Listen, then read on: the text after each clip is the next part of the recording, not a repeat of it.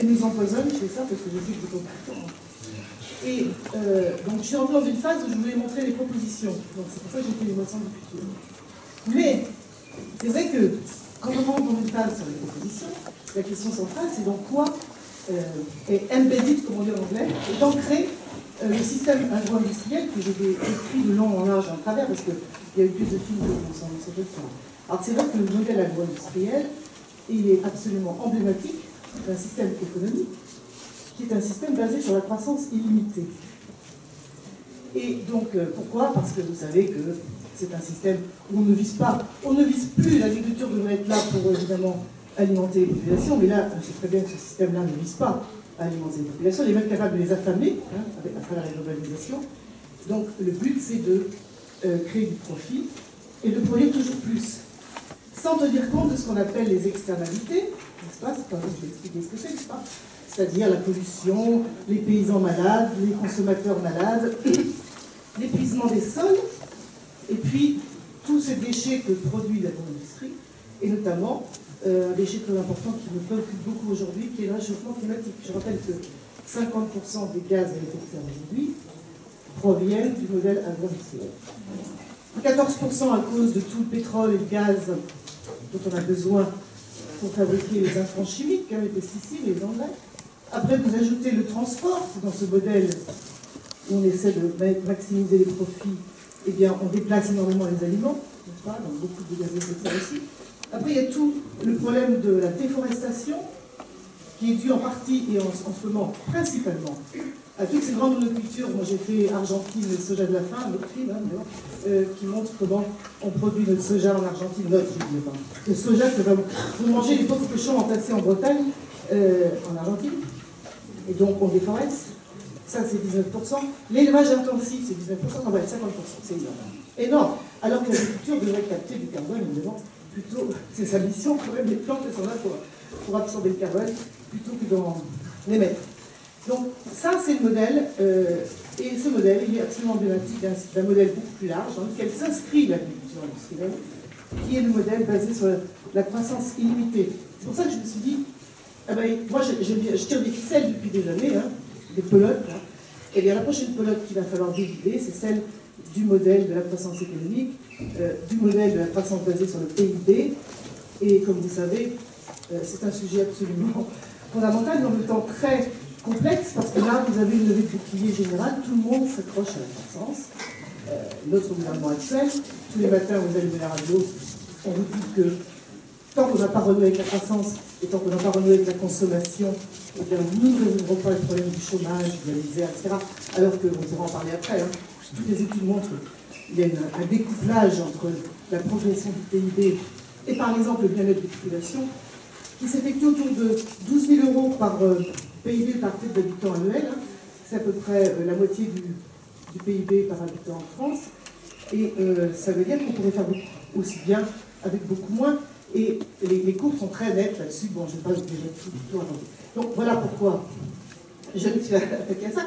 Mais je ne suis pas attaqué uniquement dans le but de, de, vous montrer qu'il faut absolument, je dis vous parce que la croissance, elle est basée sur l'augmentation du PIB. Le PIB, c'est l'augmentation de la production et de la consommation. La consommation est devenue un acte patriotique, on vous, on vous dit tous les matins, Euh, il faut consommer, il faut monter le pouvoir d'achat, acheter n'importe quoi, c'est là, et acheter, et c'est ça qui va faire monter le PIB. Donc, la consommation, ça nous concerne tous, hein, parce que nous sommes tous, malheureusement, de très gros consommateurs. Et donc, chacun est impliqué par ça. Donc voilà. Euh, mais je ne veux pas uniquement démonter la croissance, je veux aussi montrer qu'on peut. Il y a déjà dans le monde, partout dans le monde, des gens qui sont... voilà. Sur les, sur les, Il y a, un seul micro, c'est vrai qu'il va falloir le faire circuler. Euh, on va partager, on ne va pas faire la consommation de micro. Euh, en fait, une question qu'on se pose... On va faire le film tout seul. Une question qu'on voulait poser, c'est pourquoi est-ce qu'on n'arrive pas à renoncer au concept de croissance Parce que ce qui est intéressant, c'est que toutes les analyses économiques, toutes les prévisions euh, de l'INSEE montrent qu'il n'y aura plus de croissance dans les 15 années qui viennent. Donc il y a une évidence qui aujourd'hui est partagée par tous les instituts d'observation économique et statistique. En revanche, le discours politique continue à être fondé lorsqu'il s'agit de rassurer, lorsqu'il s'agit de donner une perspective, il continue à être fondé sur la notion de croissance. Donc de manière un peu même psychologique et en termes de sociologie du pouvoir, est-ce que tu peux nous dire pourquoi est-ce que renoncer à la notion de croissance, qui est déjà une notion obsolète sur le plan économique, est quelque chose d'aussi difficile? Est-ce que le film d'ailleurs parle de ça? Oui. Le film parle de ça évidemment parce que bon, le film c'est vous montrer rapidement vous allez, vous allez avoir droit à une petite avant-première les cinq premières minutes du film. Peut-être que ça marche. Euh, montrer qu'il y a déjà partout dans le monde des gens qui ont compris qu'il faut sortir du, modèle de la croissance et qu'il faut aller vers une société post-croissance. Moi, je préfère le terme post-croissance à décroissance, au sens par après. Euh, ça fait moins peur d'abord. Alors, moi, ne pas la décroissance, mais. Euh, voilà. Post-croissance. La post-croissance, c'est quoi? Ça doit s'appuyer sur trois piliers. C'est comme ça qu'on dégommera le système de la croissance. C'est se réapproprier la production alimentaire.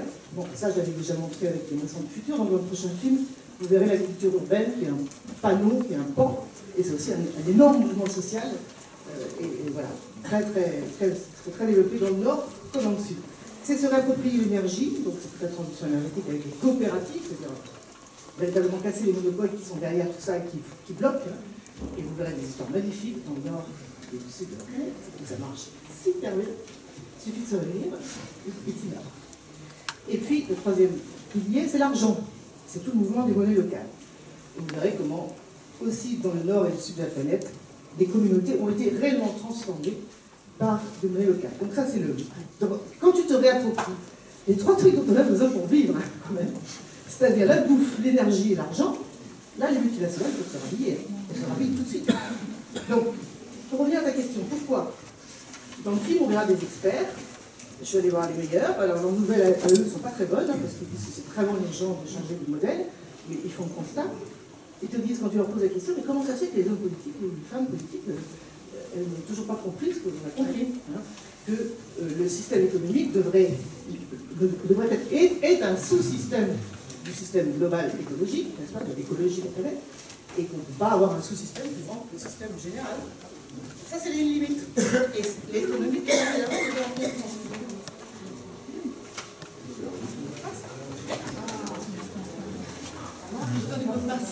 de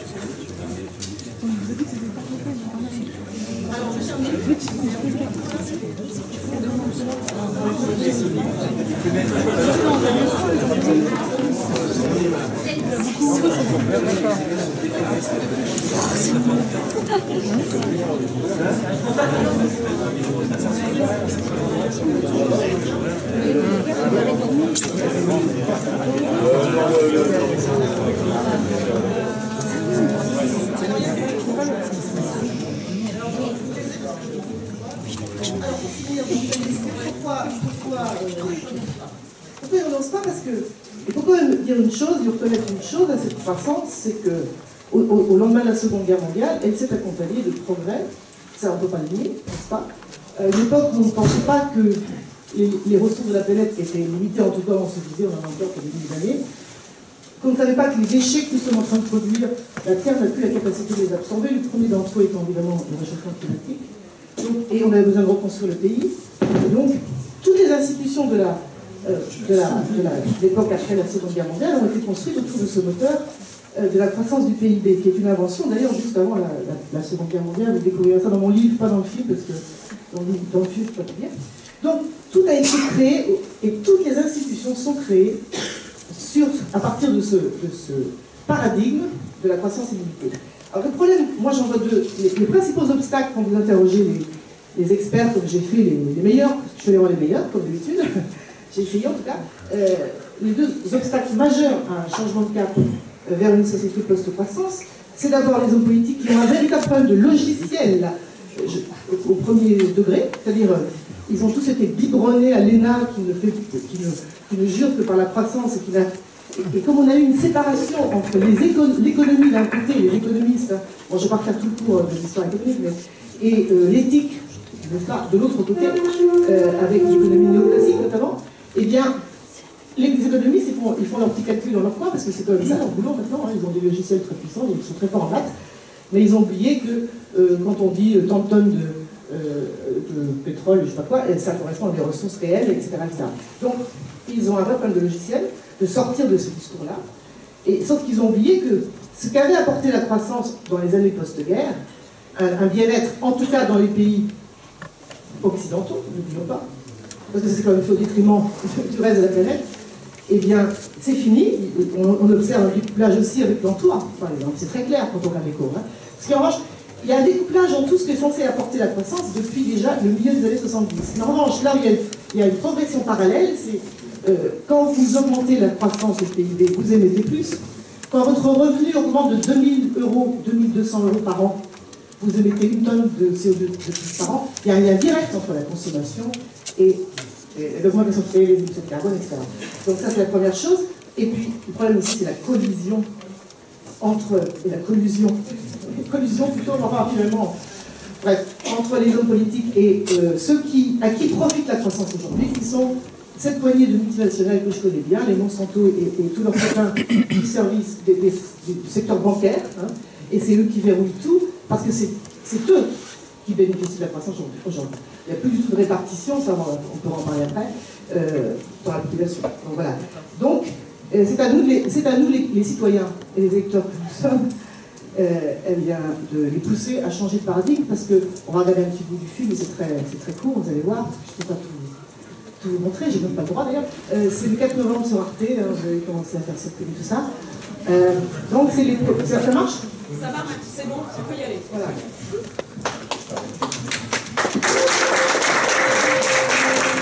L'Europe a besoin de projets.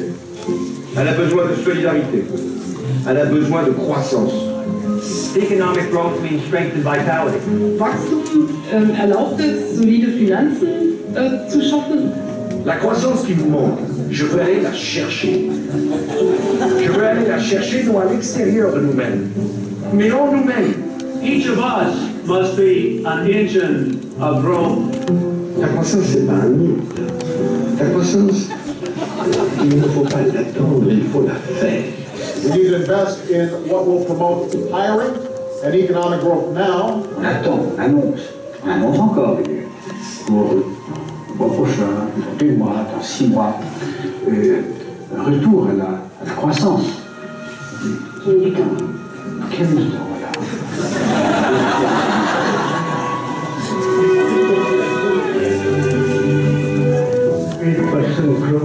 Mayor crecimiento económico. For growth and jobs. La crescita. La crescita. Paxton. Croissance. Croissance.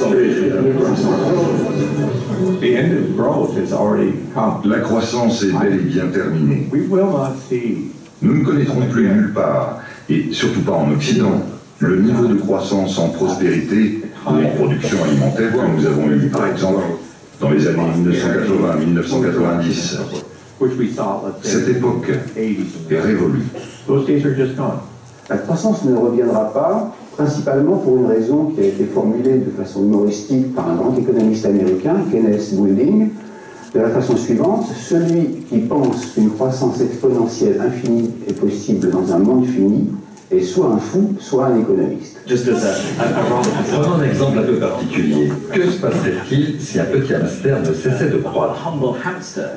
Un hamster double son poids toutes les semaines jusqu'à l'âge de 6 à 8 semaines. S'il ne s'arrêtait pas et continuait de doubler à intervalles réguliers, eh bien à l'âge de 1 an, il pèserait 9 milliards de tonnes et pourrait ingurgiter la production mondiale annuelle de maïs en une seule journée. La croissance est de plus en plus difficile, surtout dans les économies occidentales, en raison de la convergence de trois facteurs. Le premier, c'est l'augmentation du prix du pétrole. Le deuxième, c'est les coûts croissants des impacts du processus industriel, principalement le changement climatique. Le troisième, c'est notre dépendance extrême à la dette qui sert à stimuler la croissance depuis plusieurs décennies. Je suis fermement convaincu que si l'on regarde le monde d'aujourd'hui et qu'on se demande peut-on imaginer un meilleur système financier? Peut-on imaginer un meilleur système énergétique ou un meilleur système alimentaire? Peut-on imaginer un meilleur système de transport? Partout autour de nous, il y a des exemples vivants et pratiques qui montrent qu'on peut faire beaucoup mieux. Notre défi, c'est de les rassembler, de les mettre sous le nez des politiques en leur disant Qu'est-ce que vous attendez? Toutes les solutions sont là.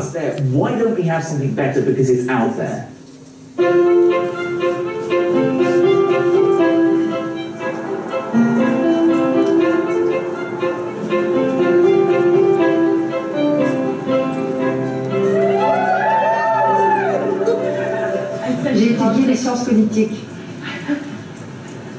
J'ai étudié le français. J'ai étudié les sciences politiques et la...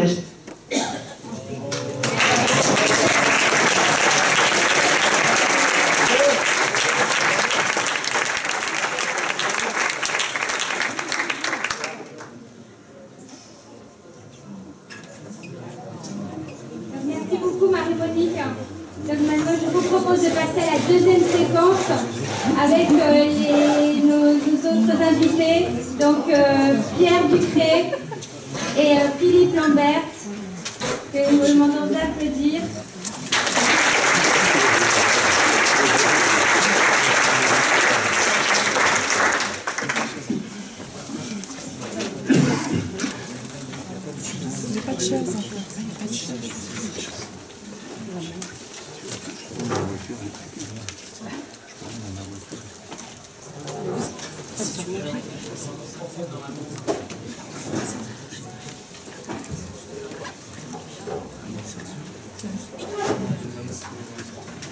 Bien.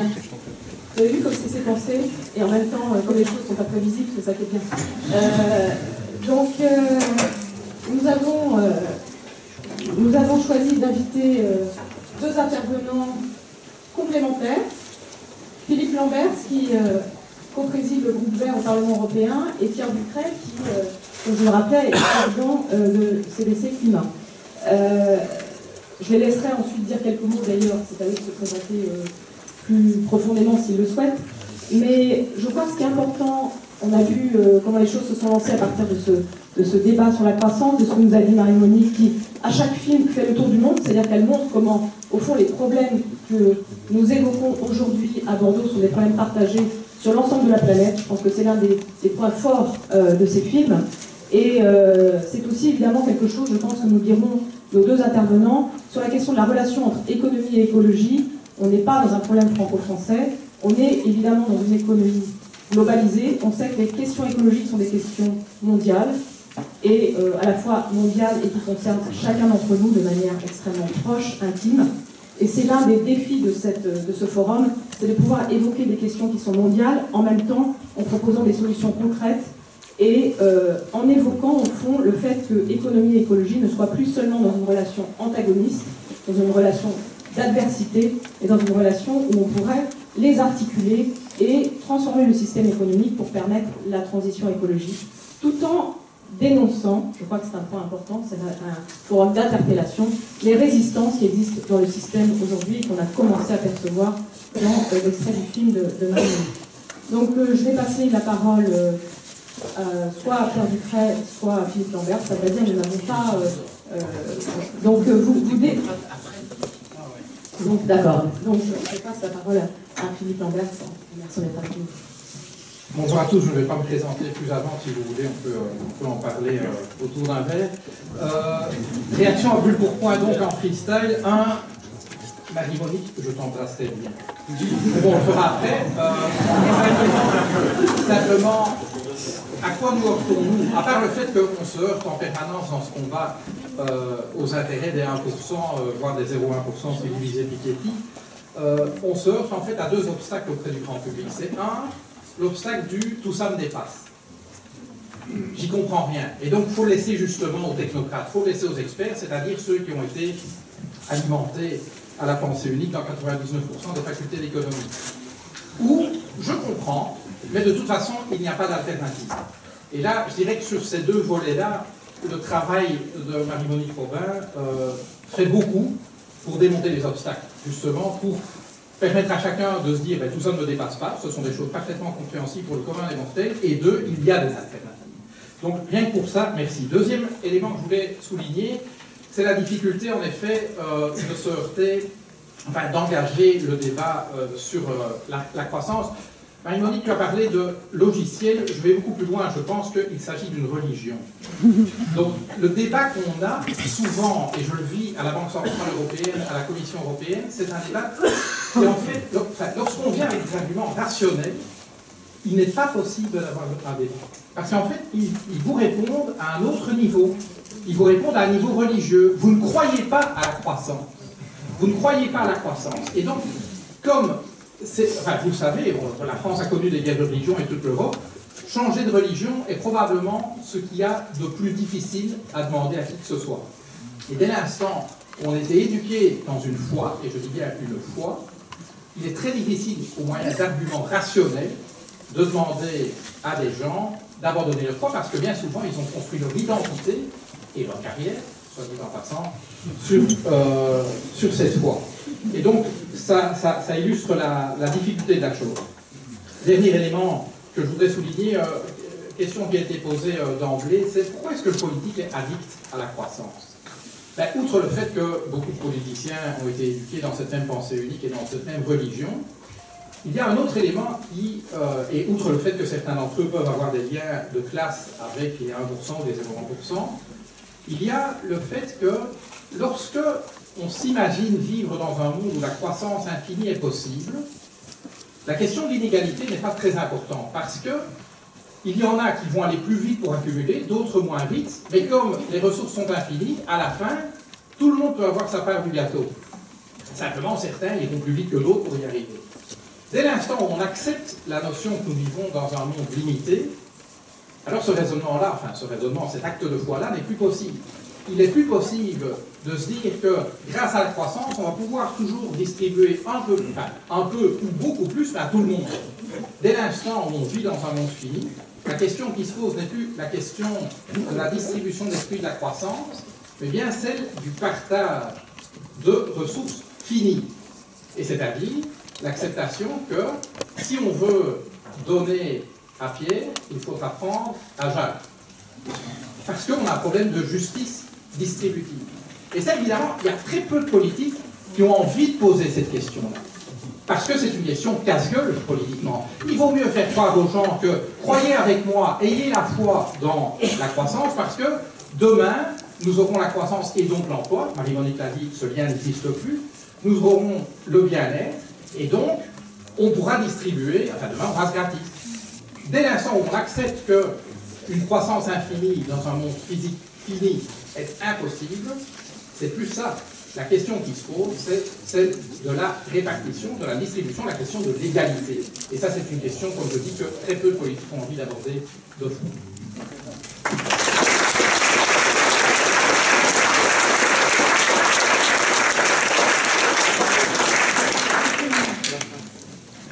Bon, pour moi, l'exercice est un petit peu plus difficile. D'abord, deux, mots euh, pour me présenter. Je ne suis pas un économiste, ni exactement un expert. Je suis, c'est plus pour voyez à peu près euh, ce, que je vais, ce que je vais vous dire. Quoi. Je suis un praticien de l'action publique euh, à l'intérieur du groupe de la Caisse des dépôts depuis le début de ma vie professionnelle. Et les questions euh, de l'écologie, je les ai abordées d'abord à travers la question de la ville en mettant, parce que trouve que pendant six ans, j'ai dirigé une grande agglomération française, et que c'est à travers cette, démarche-là que je dis notre sujet, et maintenant ça fait, sur ma thèse, depuis une quinzaine d'années que je travaille sur la question du, du euh, du financement de la lutte contre le changement climatique en utilisant euh, des, euh, des, mécanismes, hein, des leviers, qui sont les leviers du marché. Alors, je vais essayer de, vous dire, je, vais vous dire d'abord des choses qui ne vont pas vous plaire. euh, et je pense que je suis là pour ça, c'est pour ça que, Lucie m'a demandé de venir. Euh, d'abord, sur cette histoire de, de croissance, je voudrais quand même défendre un peu euh, ces gens qui sont simplement pris par cette, cette religion de la croissance, et bien sûr du vrai là-dedans. Il y a aussi euh, le fait que pour les politiques, notamment, euh, euh, aujourd'hui, même si c'est vrai que la corrélation croissance du PIB, création d'emplois est beaucoup plus faible, si vous voulez qu'elle l'a été, elle existe toujours, et qu'on sait bien que sans croissance du PIB aujourd'hui, il y a une augmentation du chômage aujourd'hui instantanément. Là où je suis d'accord avec vous, là où je suis totalement d'accord avec vous, c'est que la question du chômage structurel à l'échelle de l'OCDE, ne serait-ce que je parle que pour les pays riches, euh, c'est environ 60 millions, 70 millions euh, de chômeurs structu structurels, je dis bien, à l'échelle de l'OCDE. Aucun taux de croissance du PIB ne permettra de régler la question du chômage structurel. Donc sur ce point, nous sommes d'accord. Mais n'oublions pas qu'il n'y a pas que, le chômage structurel et que la question du chômage conjoncturel est aussi très importante et que de soi bien il y a une corrélation avec la croissance du PIB. Maintenant, toutes les tentatives pour effectivement mettre en place d'autres indicateurs, le PIB vert, qui permettent de déflater notamment le PIB. Hein. En gros, vous savez, en gros, le PIB vert, c'est 60% du PIB. C'est à peu près ça. Si on enlève la destruction de ressources naturelles, euh, les, travaux les plus sophistiqués dans ce domaine permettent de dire ça. Mais il n'empêche que, après, vous avez, si vous faites cette déflation euh, du fait de la destruction de ressources naturelles, vous avez quand même un problème d'évolution euh, de votre piste vert euh, qui est lié tout simplement à la démographie et puis du fait qu'il y a des gens qui sont quand même très très pauvres euh, à l'échelle mondiale et à qui vous n'allez pas dire que vous allez arrêter leur développement. Et, ça ne sera pas seulement un problème de redistribution parce qu'il n'y aura pas globalement assez de capacité de redistribution compte tenu de la croissance démographique pour arriver à faire monter les gens qui sont en gros encore à 1 dollar par jour à l'échelle du monde aujourd'hui euh, à un niveau euh, de bien-être euh, convenable. Donc tout ça, il faut relativiser un petit peu les choses. Moi, ce que je voudrais vous dire maintenant, pour rester pour le moment au stade de généralité, c'est que pour moi, euh, premièrement, je vais essayer d'être très bref hein, pour vous donner quelques idées que je veux défendre. Premièrement, euh, je crois que vraiment ce qu'on appelle aujourd'hui la transition vers un modèle économique sobre en consommation de ressources naturelles non renouvelables est engagée d'ores et déjà à l'échelle du monde à peu près partout. C'est déjà engagé. Simplement, c'est un mouvement qui est encore minoritaire, qui est chaotique, qui est inégal suivant les régions du monde, mais il est engagé. Le problème, c'est qu'il est trop lent. Il est trop lent par rapport à ce que sont les échéances environnementales, les échéances écologiques. Qu'il s'agisse de climat ou de biodiversité, c'est en gros les deux grands sujets. Il est trop lent, parce que, et, pour parler comme un économiste, il est trop lent tout simplement parce que les coûts, et c'est une façon de parler qui va peut-être pas plaire à certains d'entre vous, les coûts que nous aurons euh, à supporter si nous n'accélérons pas euh, ce, mouvement de transition, euh, les coûts que nous aurons à supporter pour nous adapter à la nouvelle donne de la planète seront absolument démesurés et pas seulement, et ça se comptera pas seulement en vie humaine dans les deltas du Gange, ça jouera aussi ici, à Bordeaux. Il y a eu un très beau travail qui a été fait par Hervé Le Treux sur l'adaptation de la région Aquitaine. C'est un magnifique travail d'ailleurs je signale pour tous ceux qui connaissent. C'est probablement à travers les questions d'adaptation qu'on arrivera à sensibiliser les gens vraiment à la question climatique. Beaucoup plus qu'à travers les questions de réduction parce que c'est moins abstrait. Le travail qui a été fait euh, par Hervé Le Treux, piloté par Hervé Le Treux sur la région Aquitaine est remarquable. Je vous rappelle que c'est ce qui a euh, fait dire à Alain Rousset euh, l'année dernière, bah, il faut avoir en tête qu'il faut qu'on ait tous en tête dans la menée la- le design des politiques publiques aquitaines que le climat de Bordeaux en 2050 c'est le climat de Séville. Et ça change tout pour la forêt, euh, la viticulture, euh, tout. Donc, voilà, si, si vous voulez, l'accélération. Et comment on peut accélérer? La question de l'accélération, vue en termes économiques, c'est une question d'investissement. D'investissement. C'est-à-dire que pour accélérer, il faut investir. Il faut investir. Il faut que tous les acteurs économiques investissent, que ce soit les acteurs publics, les acteurs privés, ou les acteurs privés, les ménages, les entreprises, tout le monde. Donc c'est un problème d'accélération des investissements. Et cette accélération, ce n'est pas un problème, ou c'est pas principalement un problème de delta, comme on dit, c'est-à-dire d'investissement supplémentaire. C'est pas, on a tendance tous à s'affoler avec ça, euh, ou on affole les gens avec ça. Vous vous rendez pas compte, il va falloir trouver énormément d'argent en plus pour financer ça. Mais non, non, c'est pas, et d'ailleurs, c'est d'ailleurs pour ça que c'est difficile, parce que c'est pas tellement tant un problème, il y a des choses qui sont incrémentales, qui sont supplémentaires, mais c'est d'abord un problème de substitution. Et c'est parce que c'est un problème de substitution que c'est difficile, parce qu'il s'agit d'investir dans ceci plutôt que dans cela. Il s'agit de faire, euh, disons, euh, de l'éolien offshore plutôt que des forages offshore. Il s'agit maintenant, au niveau du particulier, d'investir plutôt dans l'isolation de ses combles que dans sa douche à l'italienne.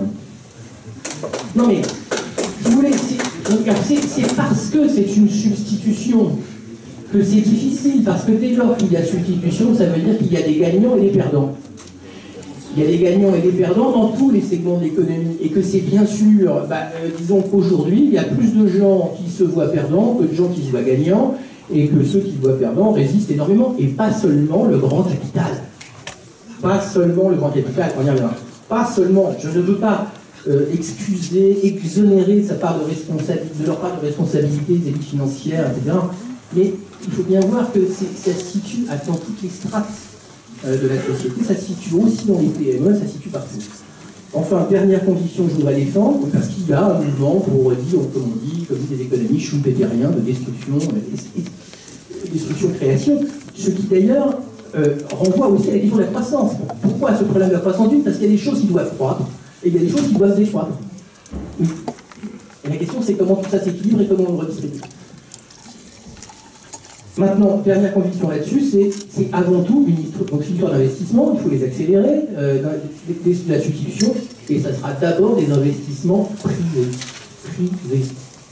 C'est-à-dire qu'à l'échelle du monde, comme à l'échelle de l'Europe, comme à l'échelle de la France, comme à l'échelle d'un territoire, si on ne raisonne que sur la capacité d'investissement public, on n'a tout simplement aucune chance de traiter le problème. Parce qu'on n'a pas les masses qui permettent, sauf à imaginer de socialiser la totalité de l'économie, etc., ce qui me semble difficile à imaginer aujourd'hui, de toute façon, ça n'est pas à l'échelle. Donc c'est forcément une question d'investissement privé très majoritairement. Très majoritairement. Pour vous prendre un exemple, la question qui est d'actualité pour la, qui est d'actualité pour la préparation de la COP 21 Paris Climat 2015, c'est comment on alimente le fonds vert de 100 milliards de dollars par an. Et, euh, on sait bien que c'est pas avec l'aide publique euh, qu'on alimentera le fonds vert de 100 milliards de dollars par an. Ah, pas rêver. C'est pas possible, ça représentera dans le meilleur des cas 20% du total.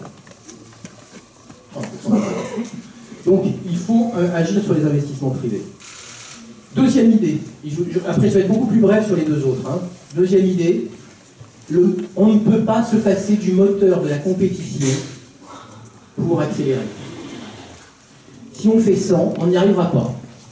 Si on ne compte que sur les phénomènes coopératifs, collaboratifs, sur tous les mouvements alternatifs que je, je, comment dire, que j'aime, que je respecte, que j'honore et que nous essayons autant que possible à la Caisse des dépôts d'aider à notre façon, et si on compte que là-dessus, eh bien, ça ne suffira pas parce que c'est pas à l'échelle.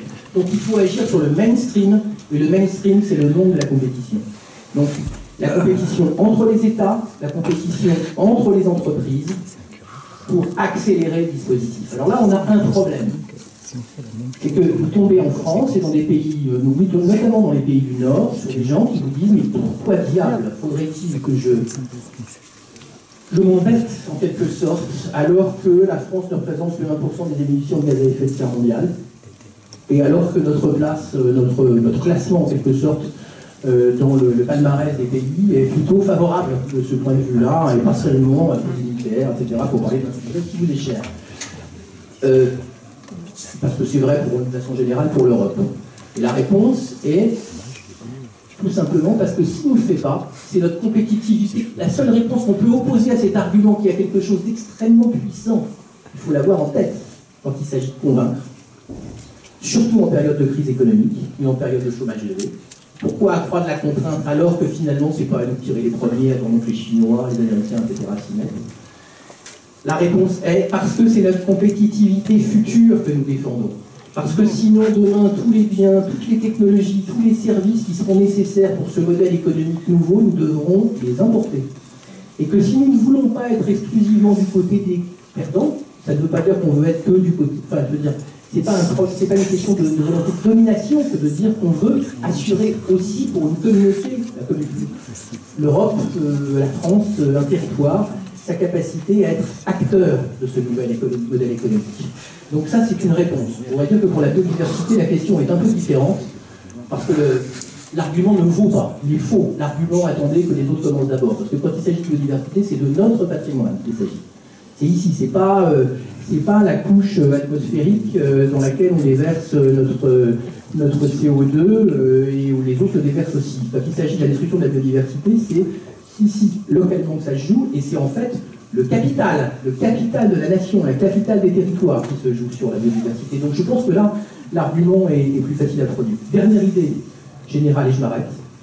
L'action publique. À quoi peut servir l'action Comment peut, qu'est-ce qui doit animer l'action publique pour, pour, conduire à cette accélération et à une meilleure orientation des investissements? Privés Je pense que l'action publique doit être beaucoup plus, comment dire, doit ruser avec le marché, doit doit apprendre à orienter les, marchés, les capitaux euh, privés dans euh, le sens de euh, l'accélération de la transition énergétique.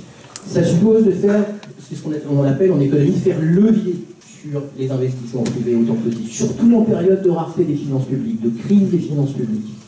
En période de rareté des fonds publics, il est très important de chercher les effets de levier maximal sur les investissements privés. Et ça, ça suppose de passer des compromis avec le marché. Des compromis avec le marché. Des compromis qui sont à la fois des compromis dans le temps, des compromis dans l'espace et des compromis sur le fond. Mais des compromis, ça ne veut pas dire des abandons et des capitulations.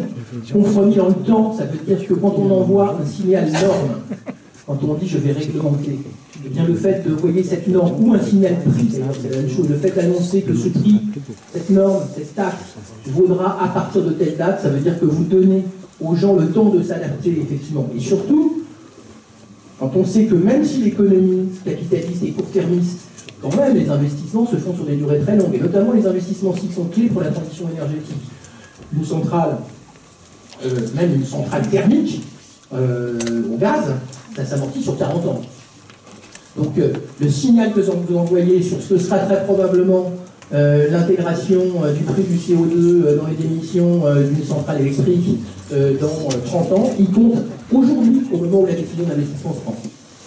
De même que le signal que vous envoyez sur ce que seront les normes de rénovation thermique des logements, même si c'est dans 20 ans, elles vont compter aujourd'hui dans les décisions d'investissement.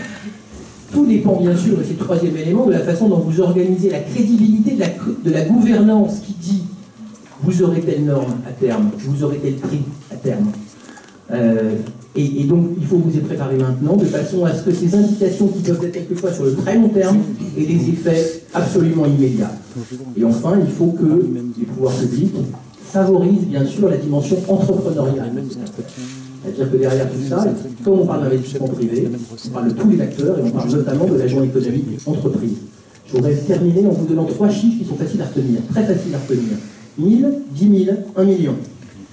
1000, 10 000, 1 million, c'est la pyramide des entreprises françaises qui sont acteurs de la transition énergétique et écologique d'ailleurs. 1000, c'est le nombre des entreprises petites et grandes qui fabriquent les technologies et les services nécessaires à la transition. 10 000, c'est le nombre des entreprises plutôt petites et moyennes qui diffusent ces services. Pour une bonne part, elles sont dans le monde du BTP. 1 million, c'est le nombre des entreprises clientes qui ont, on pourrait dire, on dit 1 million, d'ailleurs on pourrait dire 4 millions, c'est-à-dire pratiquement la totalité des entreprises françaises, y compris le boulanger du coin de la rue, c'est-à-dire toutes les entreprises qui ont besoin d'utiliser ces services et ces technologies pour transformer leur process et leur façon de fonctionner. Cette pyramide est extrêmement importante. C'est la pyramide qui va modifier complètement l'entrepreneuriat et, et, qui a une part de responsabilité très importante dans la modification des modèles sociaux. Il faut encourager ceux-là qui sont les gagnants. Il faut s'appuyer sur eux pour les faire avancer et comme un facteur considérable d'accélération de, de, la, de, la, de la transition. Parmi eux, il y a de grandes entreprises, il y en a des toutes petites. Il y a des entreprises très innovantes, il y a des entreprises classiques. Elles sont toutes nécessaires à la transition. Je m'arrête là pour le moment.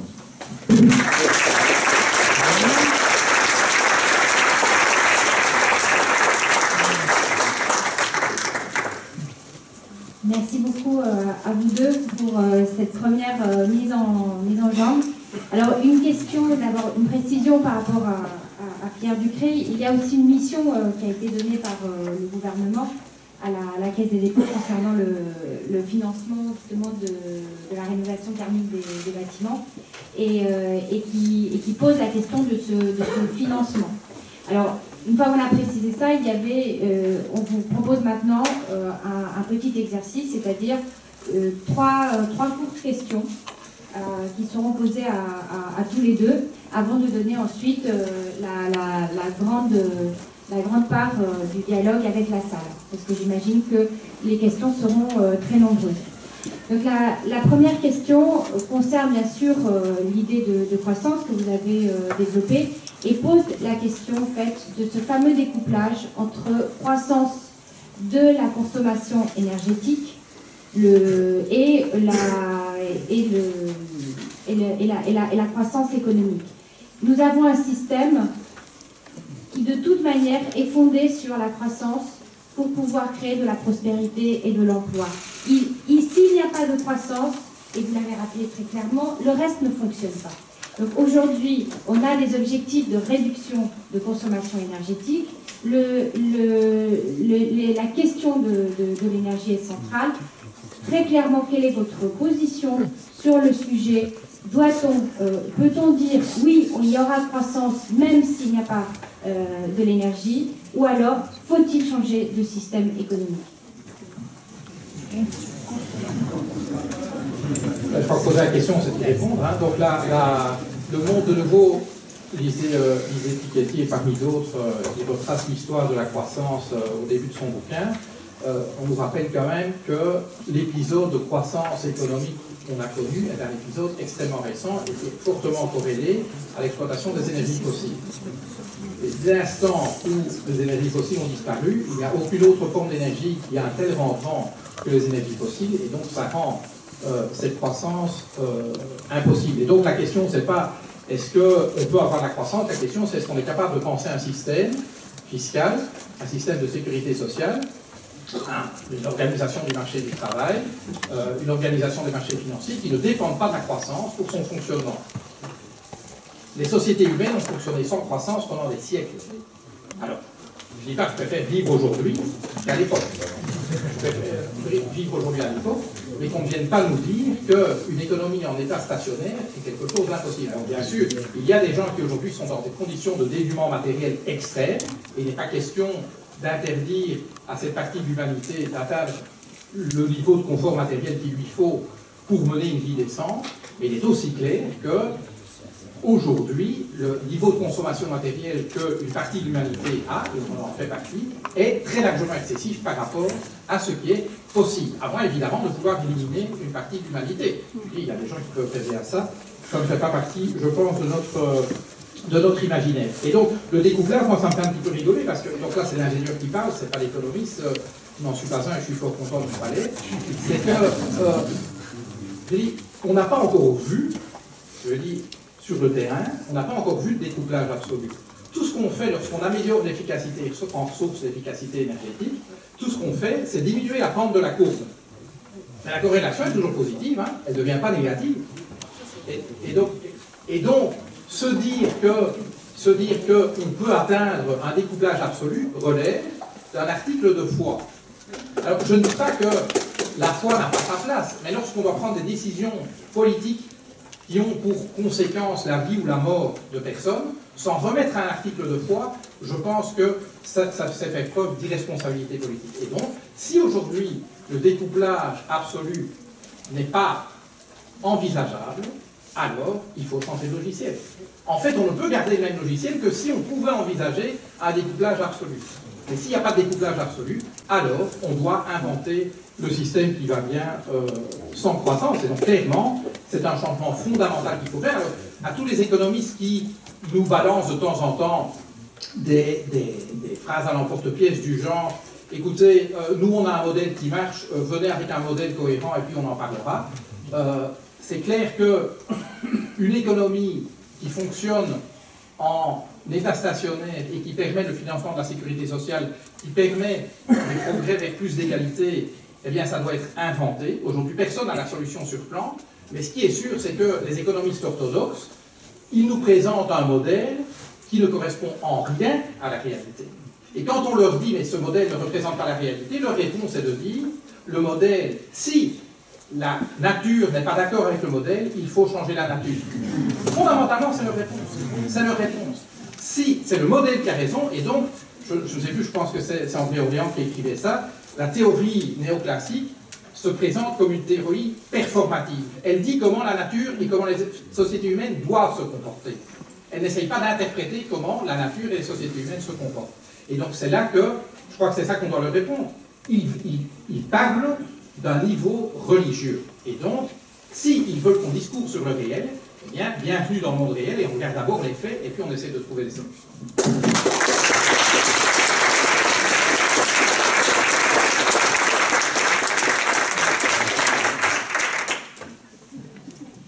découplage.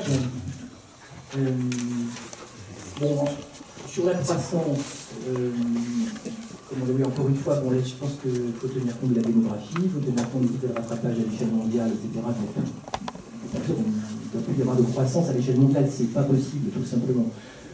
Un, élément important qu'il faut avoir en tête, par exemple, pour, revenir près de nous, euh, quand on dit que quand la France est à 0,2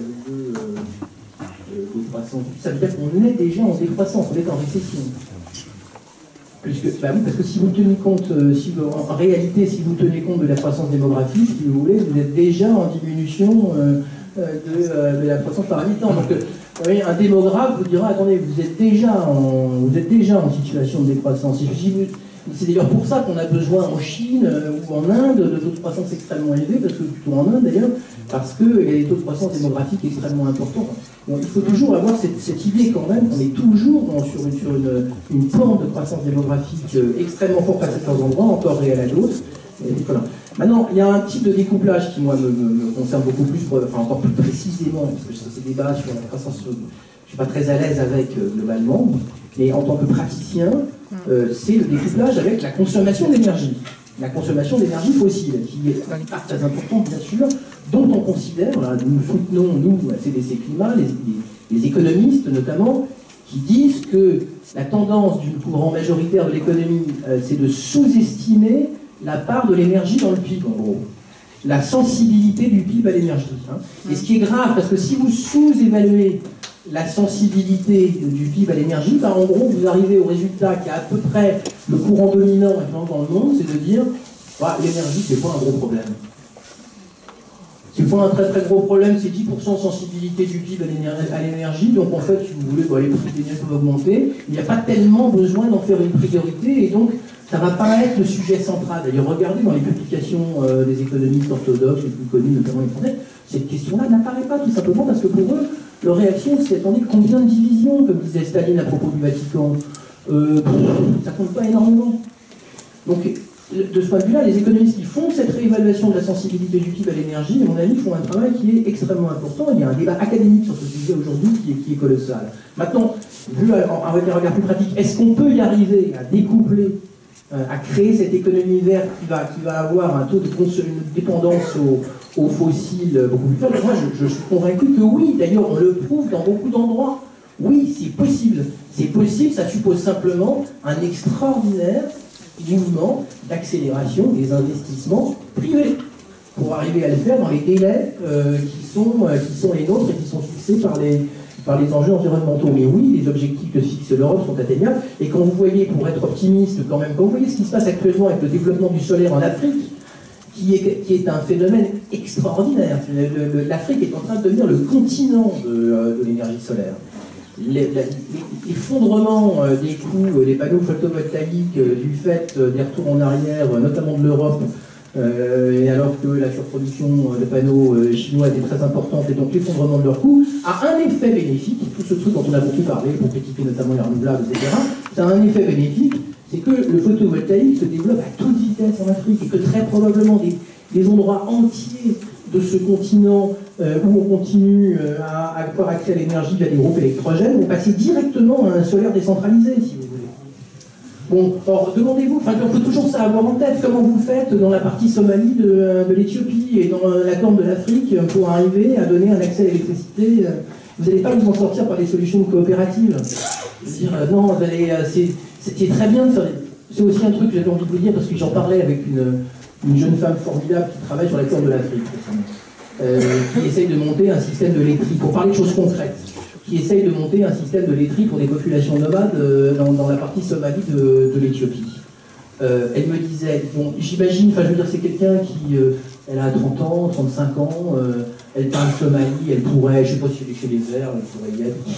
Mais il n'empêche qu'elle, non mais, et elle me disait, non mais si j'explique a des nomades somalies, qu'il faut qu'ils se montent en coopérative, dans un système de clans, euh, pour arriver à monter leur, leur truc. Comme me le disent mes amis qui me disent pourquoi tu fais appel à Danone, eh ben, ça marchera jamais. Alors que si on convainc Danone qu'ils peuvent gagner un peu d'argent, raisonnablement, en montant une laiterie qui va s'adapter au mode de vie des nomades, des éleveurs nomades. Et oui, mais ça, c'est ça qui est possible. Et c'est ça qui marchera.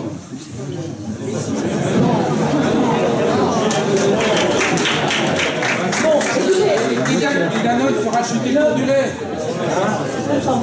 Le, conflit, on a commencé avec un peu de retard et euh, il va m'appartenir, ce que j'étais, de faire un peu le rôle de l'institutrice. Euh, mais euh, deux choses. D'abord, c'est vrai qu'on a fait le choix d'avoir un vrai débat y compris un débat où il peut y avoir une forme un peu controversial, Vous l'avez senti, euh, la Fondation de, l'écologie politique, dès l'année dernière, elle a construit des débats sur de controverses, et je crois que c'est un point important parce qu'il faut qu'on puisse, y compris, débattre entre nous de questions qui se posent hors des journées d'été d'Europe Écologie et Vert, où parfois il y a entre nous beaucoup de consensus. Euh, voilà, donc on a décidé avec Christelle de ne pas poser les trois questions parce que ce qui est important, euh, c'est que la salle intervienne. Donc je vais vous passer la parole. Je crois que Marie-Monique a aussi beaucoup de choses à dire, mais au fond, vous répondrez tous les trois aux questions de la salle. Et euh, je me mets dans la salle une minute en posant une question qui est quand même comment est-ce qu'on réintroduit de la démocratie dans ces sujets très complexes sur lesquels la question de la complexité est souvent un élément utilisé pour confisquer les choses? Et comment est-ce qu'on redonne aussi de la marge de manœuvre par rapport à cette expression de dictature des marchés financiers, qui est une expression, je dire, aussi convue que celle de l'expression de croissance, où est la marge de manœuvre des politiques et comment est-ce que nous, citoyens, on peut changer la politique, puisque, on l'a dit, la sociologie des politiques, c'est souvent une sociologie de conformisme, et donc euh, euh, on vous pose cette question, mais il y a d'abord une série de questions de la salle avant que vous répondiez tous les trois. il y a un seul micro, donc euh, on va faire euh, une femme, un homme un homme, une femme. Donc euh, voilà. Et on commencera, puisque je suis une femme, on commencera par un homme.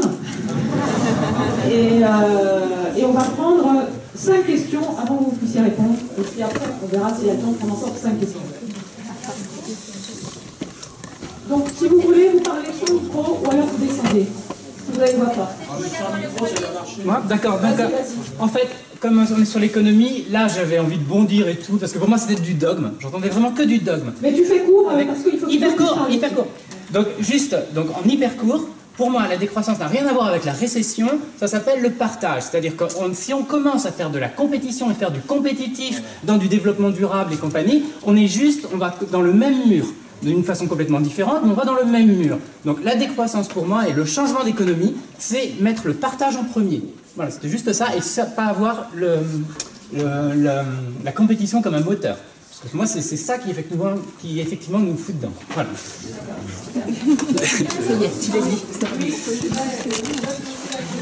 Euh, je me réfère à- au livre de Joseph Stiglitz, euh, Le prix de l'inégalité. Et je voudrais relever quand même par rapport à toutes nos problématiques d'investissement et autres, le fait que l'argent qui circule entre les banques et qui va effectivement aboutir à l'investissement, ça ne représente que 2% des mouvements. Alors, il faudrait peut-être aussi se poser cette question. Alors, maintenant euh, devant, vas-y. Oui, alors il y a un terme que je n'ai pas entendu qui s'appelle productivisme. Plus fort, on n'entend pas. Le terme productivisme n'a pas été prononcé. Il y a eu deux systèmes qui se sont bagarrés pendant longtemps. Un système dit capitaliste qui reste, qui a survécu, et le système dit euh, socialiste, bureaucratique, tout ce qu'on veut, qui existe maintenant au niveau des États comme la Chine, la Russie, etc. Et on n'a pas parlé de, euh, ouais, euh, comment, des pays euh, donc, dans- et émergents, euh, dans le nouvel ordre mondial. Alors, euh, j'ai peur que les gens qui veulent trouver un compromis à tout prix avec le libéralisme euh, n'aient pas le courage de voir de nouveaux concepts, de nouveaux critères, un nouveau paradigme, parce que c'est le seul moyen de s'en sortir. Sinon, l'économie donc bâtarde va être comme la social-démocratie euh, en politique, et si on ne change pas d'économie, eh ben, rien ne va changer. Euh, encore deux questions, donc une femme. Alors, euh, deux questions. Pourrait-on envisager d'informer une campagne d'information, d'informer le public euh, sur, les, sur la consommation écologique et éventuellement de donner des encouragements à consommer écologique, à justement isoler plutôt que d'acheter des usages en plastique? Et l'autre question, c'est est-ce qu'on peut demander, est-ce qu'on ne pourrait pas exiger de l'économie de ne produire que des objets qui ne polluent pas, qui ne sont pas dangereux pour l'humanité finalement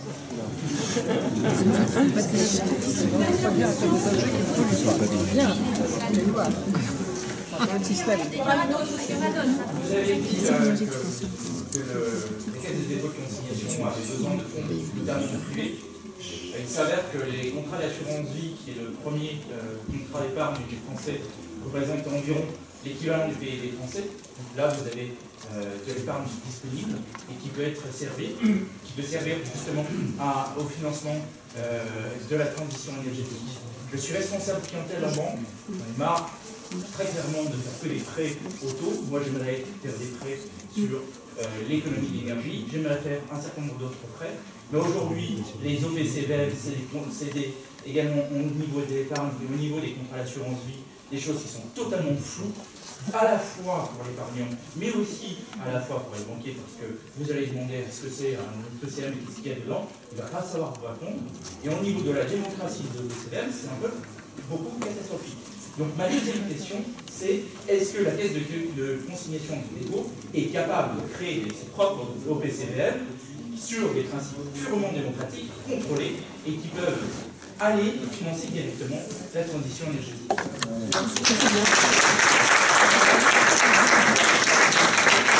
Bon, alors je vais passer la parole à nos trois intervenants. Euh, je, tiens à dire que je voudrais que les réponses soient assez courtes de façon à ce qu'on puisse prendre un nouveau, euh, un, nouveau jeu de questions de cinq personnes.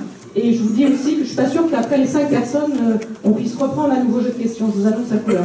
Voilà. Donc euh, je passe la parole à Marie-Monique pour commencer. Euh, S'il te plaît, un petit peu court comme. Je voudrais répondre à ce que vous avez dit en d'avant de... Parce que moi je suis au Népal, par exemple, au Népal, on ne pense pas du tout au Népal, n'est-ce pas, quand on pense transition énergétique, énergie renouvelable, on n'y pense pas. hein. Euh, on pense à beaucoup de problèmes économiques, sociaux, etc. Et voilà un pays qui euh, a basé, vraiment, a lancé un programme de transition vers euh, le 100% énergie renouvelable absolument exemplaire, basé uniquement sur le développement des communautés locales. Et moi, je suis allée au fin fond du Népal, on verrait qu'il vraiment le fin fond du fin fond, parce qu'il faut y aller, il faut y aller, quoi. C'est pas évident. Et euh, des gens quasiment illettrés sont devenus, euh, ont fait des sortes de coopératives, en fait, j'appelle ça des users committee, où ils ont réussi à rassembler l'argent, euh, soit en faisant euh, des emprunts euh, personnels ou en mettant leurs économies, mais qui ne sont pas très élevées en fait, en construisant eux-mêmes des, installations, avec l'aide du gouvernement qui a, créé une agence qui s'appelle l'Agence de la promotion des énergies renouvelables. Et ça marche extraordinairement bien. La communauté où j'étais, bon, c'est 60 km de Katmandou, mais c'est 3 jours de voiture pour me rendre compte que c'est vraiment pas évident d'y aller. Ils sont totalement autonomes du point de vue énergétique grâce à un mix de- à la fois de micro-hydroélectricité, euh, de panneaux solaires et de biogaz. 300 000 installations de petits méthaniseurs installés dans toutes les fermes. Et on n'a pas besoin de- d'argent de personne. Euh, des gens qui s'organisent et, et qu'on forme et qu'on aide et ça marche. Et moi, tout ce que j'ai vu dans la transition énergétique, la clé, ce sont les modèles collectifs de propriété des installations. J'en suis absolument convaincue. Il faut, parce que la croissance, c'est ça aussi. Je suis allée aussi au Danemark, à est un exemple très connu, un ville qui en 10 ans est devenu autonome du point de vue énergétique. Ce ne sont que des coopératives, euh, aussi bien pour les chauffages, d'ailleurs, de centrales que pour euh, les éoliennes euh, qui appartiennent à des coopératives. Et ils m'ont tous expliqué que si ça a marché euh, et qu'ils sont tous mis à rénover leur, logement, etc., euh, c'est parce que euh, il n'y a pas eu de grandes compagnies qui sont là essayer de faire de l'argent avec l'énergie. Il faut que l'énergie, la nourriture, redeviennent des commons, on appelle ça en anglais, des biens communs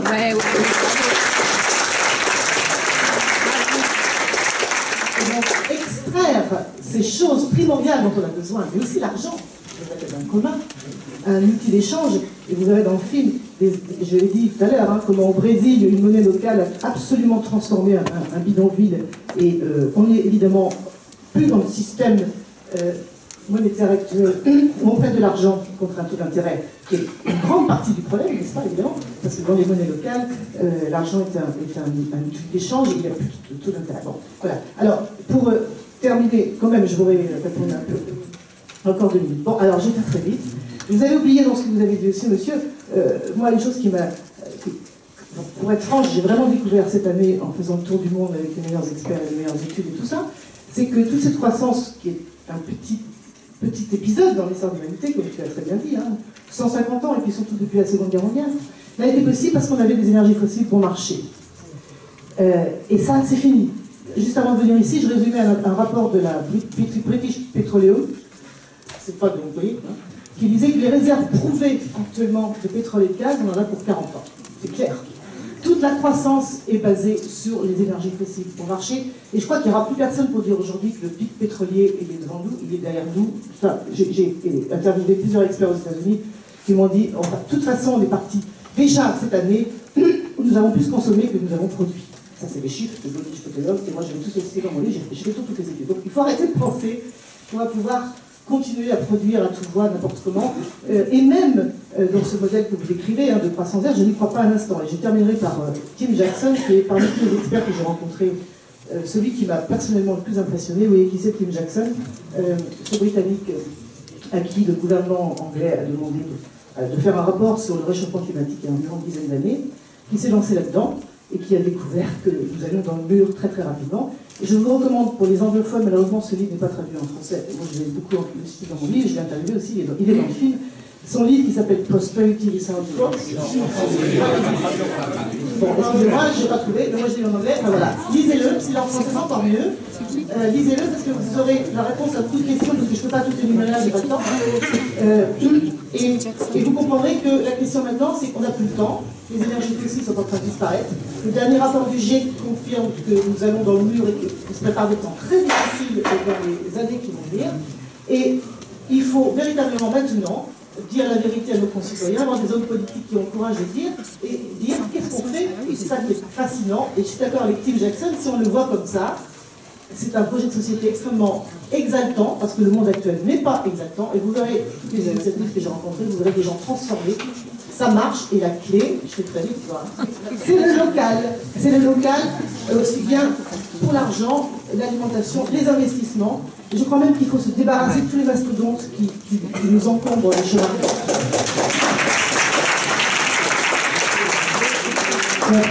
compris, la caisse des dépôts. Euh, je, vais, être très bref. Premièrement, sur la fin de l'énergie fossile pour marché, euh, oui. Maintenant, si, on fait si, on- si vous faites confiance euh, simplement à la, l'horizon de raréfaction des ressources fossiles, euh, bah, on ne va pas y arriver hein, à tenir les engagements euh, de, climatiques.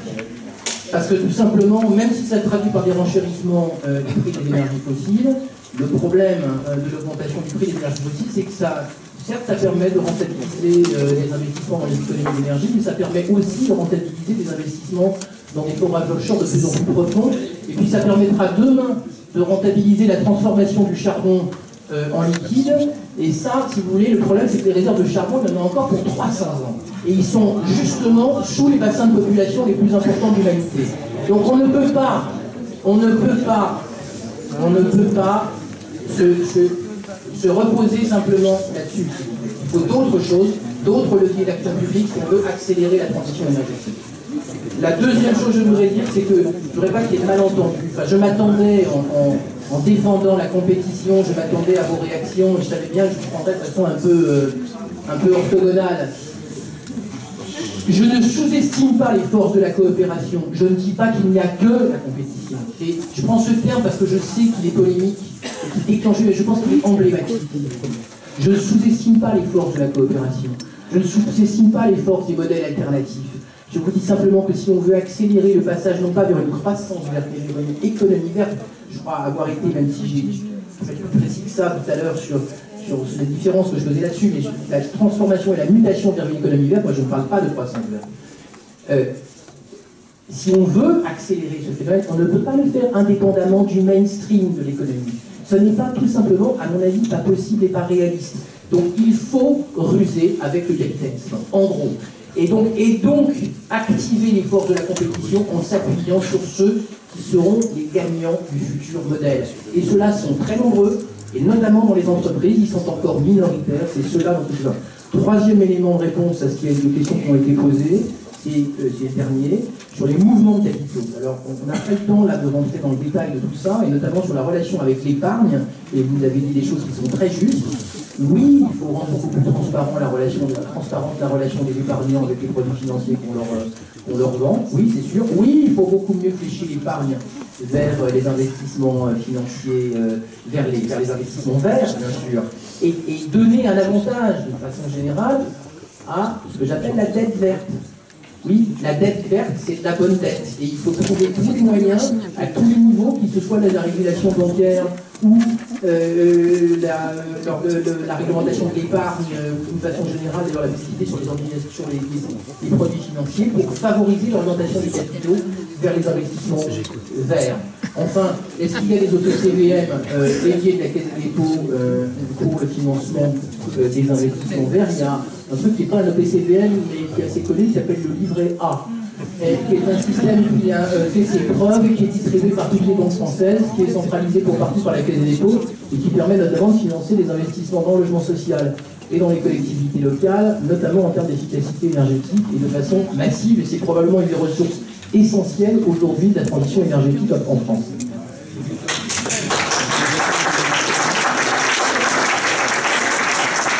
Pas répondre à toutes les questions. Un, est-ce qu'il est possible d'interdire les produits qui ne sont pas euh, écologiques En tout cas, il y a moyen de réglementer de manière extrêmement stricte euh, à la fois le contenu en ressources et en énergie des différents euh, produits et services qui sont vendus. Même chose sur les- les pollutions qu'on accepte ou qu'on n'accepte pas, mais aussi, par exemple, leur durabilité. Si par exemple vous obligez euh, tous les fabricants d'électroménagers à garantir leurs produits 10 ans, c'est clairement vous transférez un problème qui est un problème du consommateur au producteur. Vous les rendez responsables de la durabilité de leurs produits. Vous leur demander de faire 20 ans si vous voulez. Et donc, et donc est-ce qu'il y a moyen d'imposer tout cela? Oui. Est-ce qu'il y a moyen d'imposer un étiquetage qui permet aux consommateurs de faire ses choix en connaissance de cause? Absolument. Ce sont des batailles que nous menons notamment au Parlement européen, et je suis désolé de dire qu'on perd plus souvent qu'on gagne. On perd plus souvent qu'on gagne parce qu'on heurte aux intérêts de grands groupes industriels qui, au nom de la compétitivité, nous disent Ah, mais n'y allez pas trop fort. Et donc, attention, donnez-nous le temps, etc. Et donc, il y a un exemple bien connu les normes Euro 4 pour les voitures. Hein, L'industrie nous avait dit Laissez-nous nous autoréguler, vous allez voir, on va améliorer la performance énergétique. C'est le patron de la Fédération européenne de, l'industrie automobile qui m'a dit sur ce coup-là, on vous a bien eu, mais évidemment ça n'a marché plus fort puisque le coup suivant, vous nous avez imposé des règles contraignantes, règles qui sous l'influence euh, d'Angela M, euh, ont été adoucis, retardés, euh, dans un chantage qui, a, est malheureusement monnaie courante en Europe. Lorsque Bernard parle, curieusement, on écoute plus que quand François Hollande le fait. Donc, est-ce qu'il y a moyen de faire Oui, mais il nous faut donc de la volonté politique, mais ça ne marche pas seulement à la volonté politique. Et là, je voudrais reprendre un certain nombre de combats qu'on a fait, Georges Pascal est ici dans, dans la salle du temps où Pascal était euh, parlementaire européen, on a quand même obtenu un certain nombre de victoires sur le front de la régulation financière. Je pense à l'interdiction des ventes à découvert sur les, sur ça c'était Pascal qui était, euh, qui était à la manœuvre, sur euh, la, régulation des bonus, etc. Et chaque fois qu'on a obtenu ça, c'est en combinant la volonté politique, ne serait-ce que d'une minorité à l'intérieur des institutions, avec de la pression citoyenne. C'est une tenaille. Et quand vous n'avez qu'un seul bras de la tenaille, ça ne marche pas. Vous n'avez que de la pression citoyenne, vous n'avez aucun relais politique, ça ne marche pas. Vous n'avez que quelques hommes et femmes de bonne volonté dans les assemblées sans la pression citoyenne, ça ne marche pas non plus. Et donc, il faut l'un et l'autre, et ça rejoint la question de la démocratie qui a été posée, j'y reviendrai tout à l'heure. Sur la question de l'inégalité, la référence qui a été faite assez vite, c'est sur la référence à laquelle vous avez, euh, que vous avez faite à la nécessité que les investissements soient des investissements majoritairement privés. Je suis entièrement d'accord avec ça entièrement d'accord. Le problème, c'est aujourd'hui qui détient une capacité d'investissement privé. Ben, de nouveau, les Piketty, 60% du patrimoine se trouve aux mains de 10% de la population. 25% du patrimoine, et donc le gros du patrimoine financier, se trouve aux mains d'une minorité de la société. Minorité qui cherche une chose, pas deux, pas trois, une. Le rendement à court terme, sans risque et garanti par l'État. Ce. Donc, Je suis désolé, à un moment, c'est pas de la rue, c'est du rapport de force. C'est du rapport de force.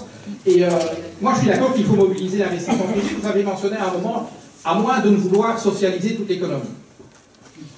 Je, je, suis de ceux qui pensent qu'il y a une place pour le marché dans l'économie. Il y a une place. Ceci dit, le marché est sans règles, c'est pas le marché, c'est la jungle. Mais donc, je pense qu'il y a une place pour le marché. Néanmoins, on a assez entendu parler en 2008-2009 d'échecs de la dynamique de marché, hein, d'échecs de la main juge. Moi, je me rappelle qu'il fut un temps, j'étais pas né, on était en 42-43, où 70% de l'économie d'un État se sont trouvés mobilisés par l'État. C'était aux États-Unis. Si, si, nous estimons, comme société, que nous sommes quelque part engagés dans un effort analogue à une guerre, ici contre l'inégalité, contre le changement climatique, contre l'épuisement des sources de la planète, si le marché n'est pas capable, si nous ne sommes pas capables d'orienter le marché pour répondre à l'urgence, alors il faudra bien trouver d'autres solutions. Mais je ne suis pas de ceux qui pensent que l'État omniscient, omnipotent, est capable, à lui tout seul, de faire ce qu'il faut. Là-dessus, je pense que les exemples d'économie dirigée, moi, ne m'ont pas convaincu. Je dis qu'il y il y a toujours, y a toujours dans une société une minorité qui pense être l'avant-garde d'éclairer du peuple et de savoir mieux que vous ce qui est bon pour la société. Malheureusement, ils ne sont pas, pas moins humains que chacun d'entre nous. Et donc, il y a une place pour le marché, oui, mais aujourd'hui, et j'en arrive à la question de la démocratie, qui décide? Je continue à croire que je préfère le règne d'une démocratie, fut-elle imparfaite, au règne des marchés. Or, on a décidé de ne plus faire correspondre l'ère du marché à l'ère démocratique. Autrement dit, dès l'instant où on installe dans certains compartiments de l'économie, et en particulier dans les marchés financiers, un marché transfrontalier, ici un marché mondial, ben, Si nous n'avons pas à mettre en face de ce marché une démocratie mondiale capable de fixer des règles au niveau mondial, alors la, la souveraineté suprême réside non pas dans la collection de démocraties individuelles, fût celle la démocratie européenne, euh, ce qui reste de démocratie aux États-Unis, je ne sais pas très bien, mais bref. Euh, mais la véritable souveraineté est celle des marchés financiers. Et donc, il n'y a pas la possibilité de reconquérir une souveraineté démocratique sans remettre, sans refaire correspondre l'ère démocratique à l'ère du marché. Et donc, si aujourd'hui on veut réguler la finance et qu'on n'a pas de démocratie mondiale, alors probablement que le dogme ou la religion de la libre circulation des capitaux est quelque chose qu'il faut remettre en cause. C'est une des conditions, me semble-t-il, de, de,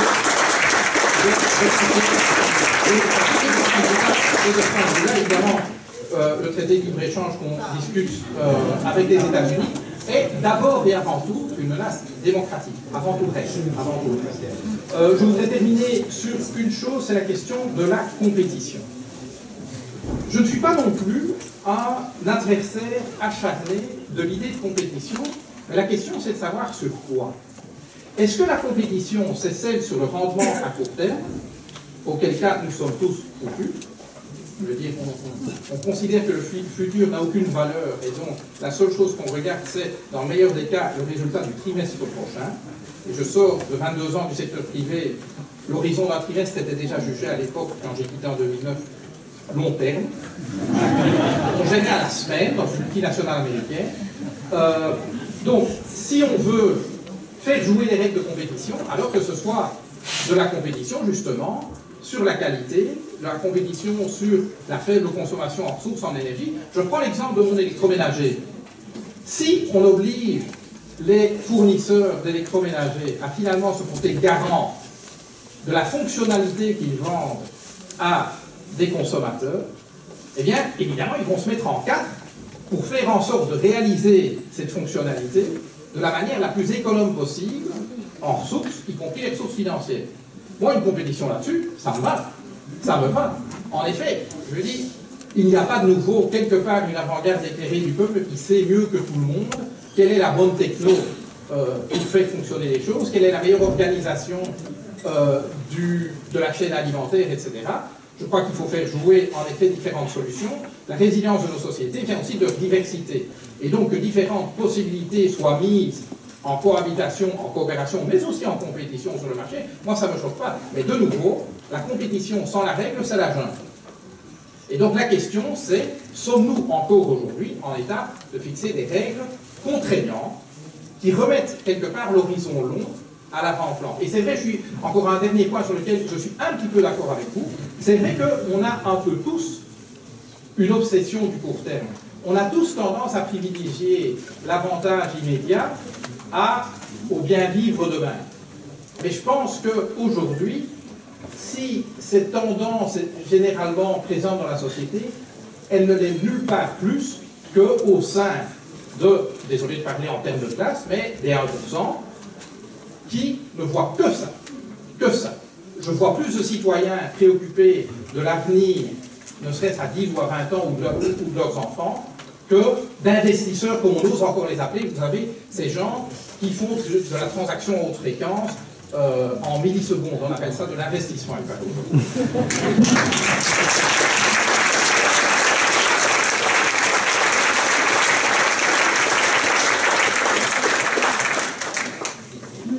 nous avons commencé avec un peu de retard, donc nous allons nous donner encore euh, quelques minutes. Euh, et donc nous vous proposons, une, comme euh, on, vous avait dit, dernière, un dernier jeu de cinq questions. donc vous avez levé la, main première.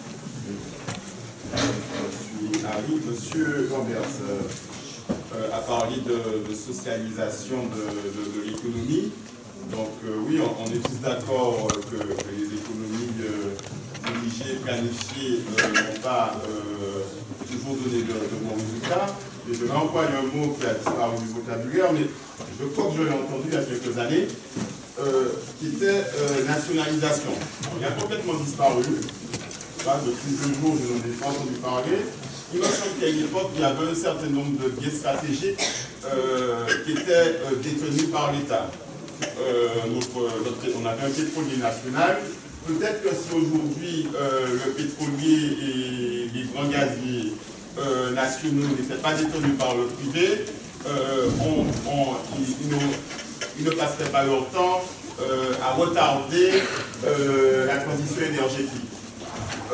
La distribution de l'eau qui est détenue par le privé, le ramassage des déchets La et la préparation euh, des repas euh, dans les cantines où il y a une spéculation extraordinaire qui est externalisée par les communes. Alors, est-ce que dans l'économie euh, actuelle, euh, la nationalisation des, des biens stratégiques est totalement exclue pour reprendre la main sur euh, le marché mortifère Alors, on a compris qu'il fallait de l'humain dans cette économie, puis de- des réseaux sociaux euh, dans, l'avenir de ce désengage du capitalisme politique. Moi, je suis un peu étonné par- dans le film de la critique des élus politiques, et je pense qu'aujourd'hui, une des réponses, c'est effectivement les initiatives des chefs d'entreprise. Aujourd'hui, il y a plein de chefs d'entreprise, une minorité, quelques pourcents, qui se posent des questions du développement durable, du développement soutenable, et ils inscrivent ça dans une démarche qui s'appelle la responsabilité sociétale des entreprises, où on tend à prendre en compte les impacts environnementaux, sociaux, territoriaux, etc.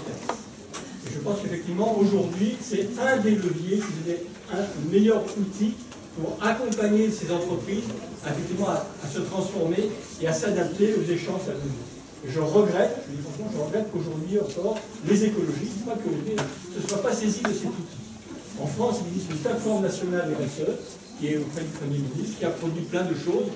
Après, je laisse le Premier ministre et son gouvernement se dépatouiller pour faire quelque chose. Mais aujourd'hui, il y a plein de réflexions d'acteurs économiques. Et je, rêve, c'est une piste que je lance, que demain, ce soir, des écologistes et des chefs d'entreprise travaillent ensemble pour voir effectivement comment, ensemble, on peut faire muter des entreprises et l'économie. C'est du faisable, c'est du nécessaire. Et je pense qu'aujourd'hui, effectivement, il faut accompagner ces pionniers. Juste une phrase, il y en a qui font du greenwashing dessus. on entend Veolia nous parler de RSE, on n'a aucune illusion. Et quand je pense, euh, je donne un tout petit exemple, je vais m'arrêter là. Euh, moi, je suis du Sud, j'habite tout près de Toulon. Euh, Quelqu'un gère un camping, une petite entreprise de trois salariés à l'année. Ils ont commencé à faire des énergies d'eau, l'énergie d'électricité. Ils ont recyclé euh, les, les literies de leur bungalow. Ça leur a donné du temps libre. Ils me disent maintenant, on n'a même plus besoin de faire de commercialisation. On est identifié comme étant un camping responsable, solidaire, vert, tout ce que les clients affluent. Et du coup, ils sont allés faire de la promotion du tourisme solidaire en Afrique noire. Donc ce que je veux dire derrière, c'est qu'effectivement, quand on a commencé à faire un peu de RSE, on a commencé à faire un peu d'écologie, petit à petit, on tire la ficelle et effectivement, ça gagne. On a exactement la même chose sur la, la démocratie où des, en- des entrepreneurs, finalement, au départ, résolvaient un problème réglementaire et finalement font participer leurs salariés à la Merci. gestion d'entreprise. Merci beaucoup. Une, une seule. Oui. En fait, euh, je pense qu'au niveau de- du modèle économique qu'on souhaite, je pense qu'il y a deux choses très très importantes, notamment l'information euh, et aussi la formation. C'est-à-dire qu'aujourd'hui, on est dans un système économique où effectivement fort de propositions, mais de demande aussi. C'est-à-dire que tout le monde sait effectivement l'importance sur le consommateur, mais en fait, il faut que, au niveau de la démocratie, que les gens prennent vraiment conscience que par leur façon de, consommer, en fait, ils façonnent complètement euh, le monde économique dans lequel ils évoluent. Et ça, je pense que c'est important de ne pas perdre de vue euh. Et la deuxième chose également, effectivement, la formation euh, des dirigeants de, de, de de politique au, au sein de l'entreprise, puisque c'est eux, aujourd'hui, qui façonnent ce dans lequel on vit, et de, le fait de, de, de pouvoir les former d'une façon différente pour leur permettre, en même temps, de concevoir une façon, un monde économique. Alors, la formation de tous, hein. Ça, c'est vraiment. Oui, alors le titre, c'est donc économie et écologie. Je suis un peu surpris parce que, quand on parler d'économie, c'est vrai. Alors, je remercie Philippe, effectivement, de l'article qui expliquer qu'il va falloir changer le modèle, le, le- le modèle économique intégralement. pour sortir de- Oui, alors donc, le titre, c'est économie et écologie. Voilà. Non, non, je pas une question, j'ai une remarque à faire. Ça s'appelle économie et écologie. Alors, on a parlé beaucoup d'économie. Je remercie Philippe, effectivement, et aussi les autres intervenants d'avoir dit des choses assez intéressantes. Mais Philippe d'avoir dit qu'effectivement, fallait sortir de la religion du modèle économique existe. Mais ce qui est regrettable, c'est que je n'ai pas entendu d'écologistes. Alors, je ne parle pas d'écologistes politiques, parce qu'on a eu des avis aussi d'écologistes, mais d'écologistes qui savent ce que c'est qu'un écosystème, l'ensemble de la biosphère, et qui expliquent quels pourraient être les fondements d'une véritable économie écologiste. Alors je pouvais raconter la genèse de ce forum, mais ça aurait pu se faire, et ça s'est pas fait parce qu'on nous l'a refusé. Il y a, pour faire une parité, il y a une, une dernière question. S'il y a une dame qui veut poser une question. Ouais. Euh, ce que je veux dire, c'est que le Club de Rome, ça date de 1972. Là, aujourd'hui, on en est à la croissance zéro, donc ça serait l'occasion de proposer un modèle économique alternatif. Non, mais c'est déjà- Donc ma question, c'est pourquoi, en 40 ans, on n'a toujours pas eu le temps de construire ce modèle économique qui fonctionnerait sans croissance Alors, merci beaucoup. Dans les, dans les réponses, je vous propose aussi que ce soit votre mot de conclusion. Est-ce que tu, veux commencer, Marie Alors, euh, moi j'ai rencontré la plupart des, économistes euh, fondateurs de l'économie écologique, euh, et notamment Herman Daly, grand monsieur qui a écrit le premier livre euh, vraiment de réflexion, en même temps que Denis Meadows, un livre qui s'appelle Beyond Growth, au-delà de la croissance, qui euh, déjà depuis la Banque mondiale, il m'avait raconté une anecdote assez amusante, il faisait un rapport, euh, il était censé coordonner un rapport à la Banque mondiale sur environnement et développement. Et, et donc il se dit, je vais commencer par un petit dessin, très simple. Un cercle, un grand, et un petit au milieu. Le petit c'est l'économie, le grand c'est l'écosystème, n'est-ce pas? Il n'a jamais pu obtenir de la Banque mondiale que ce dessin reste, et d'ailleurs il est parti à cause du dessin. C'est pour vous dire le, problème mental, euh, et, et quand il a essayé de, dans un forum d'interpréter, donc il est retourné à son université, où il disait, que- enfin, je, je suis pas mieux d'aller là-bas, euh, il s'est retrouvé dans, un forum avec son ancien directeur qui lui a dit, mais pourquoi tu n'as pas voulu ce dessin? Parce que c'est quand même ça qu'il faut que se dire que l'économie, elle elle peut pas être plus grande, n'est-ce pas, que l'écosystème. Et on lui a répondu, that's not the question. Voilà.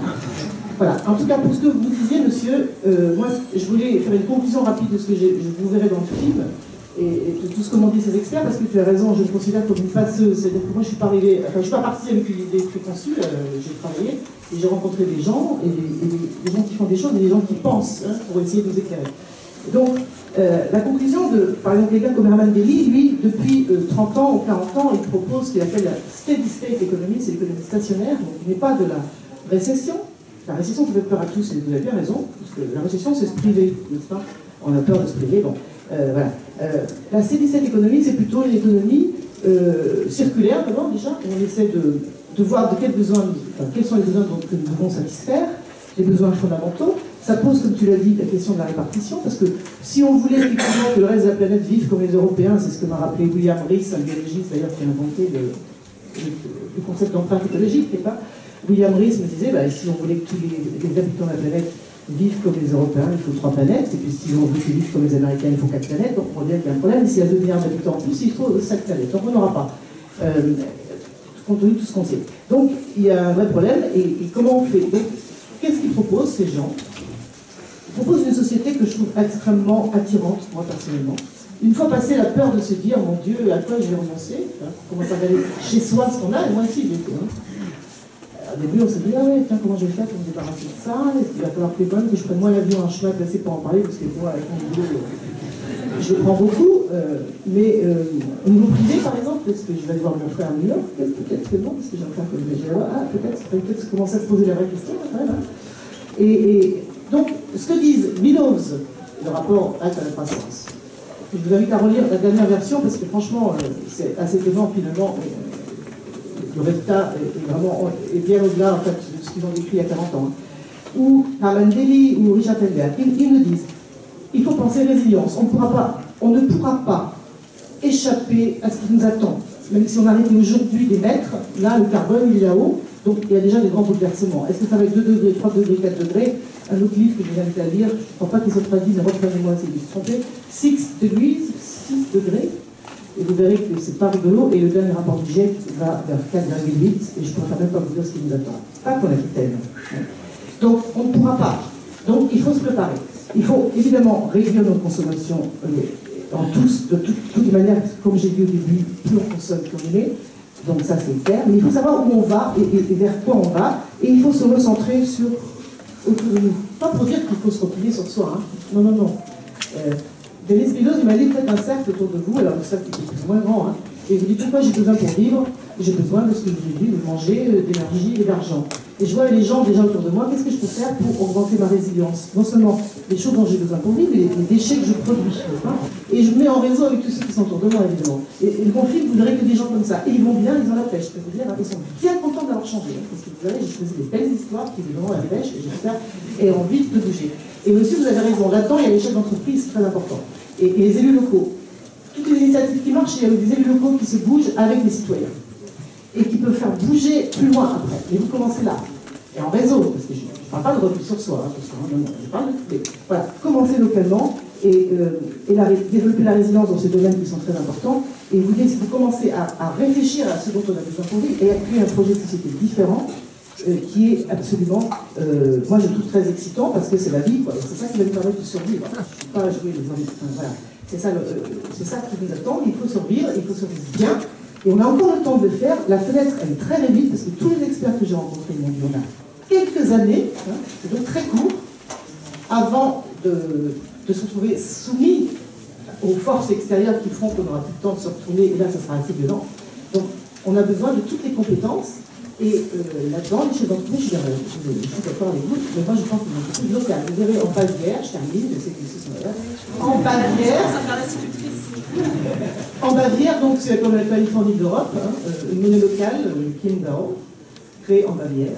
Euh, et c'est extraordinaire euh, de voir euh, comment les chefs d'entreprise acceptent de payer 3% par exemple quand ils rechangent leur King Gao, qui est la monnaie locale, en, euros, parce qu'ils savent que ça va servir au développement local, etc.